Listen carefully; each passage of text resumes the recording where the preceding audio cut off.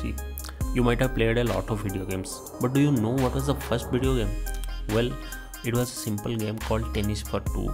In 1958, William Higinbotham created this to entertain his lab's visitor, and it was played in an oscilloscope.